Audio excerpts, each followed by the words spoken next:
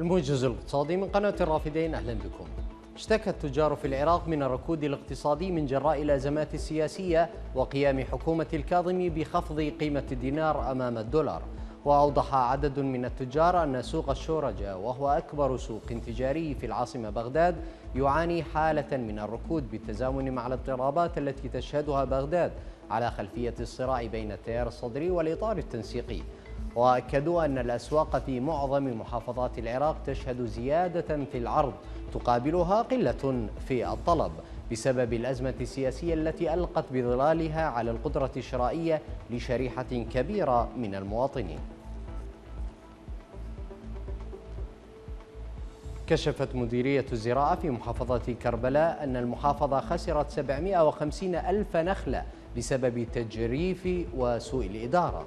وأوضحت المديرية أن بساتين النخيل في محافظة كربلاء عانت منذ عام 2003 من التجريف الممنهج.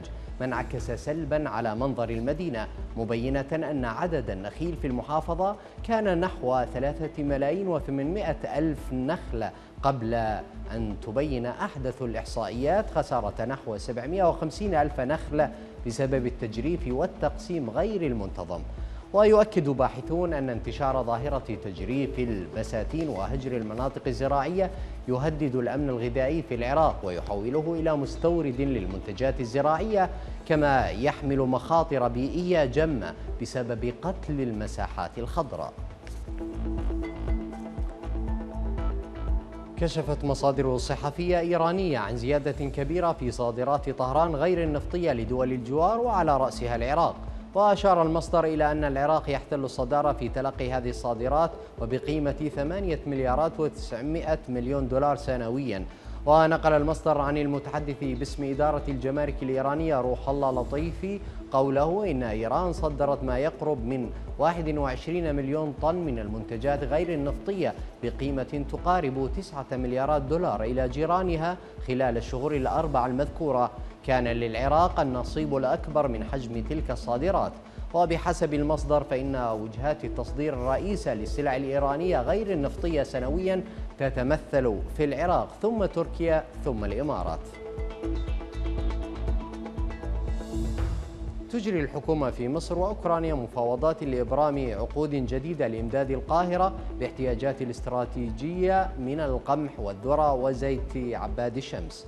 وبحسب رئيس قسم التجارة والاقتصاد لدى سفارة أوكرانيا بالقاهرة إيجور دينكو فإن فتح الممرات البحرية عقب اتفاق اسطنبول سيسهم في مساعدة مصر في التغلب على أزمة الغذاء.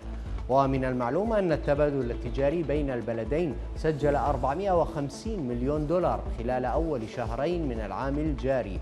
وتشير أحدث البيانات الصادرة عن الجهاز المركزي للتعبئة والإحصاء في مصر إلى أن حجم التبادل التجاري بين البلدين ارتفع خلال الأربعة أشهر الأولى من العام الجاري إلى ما يقرب من 770 مليون دولار.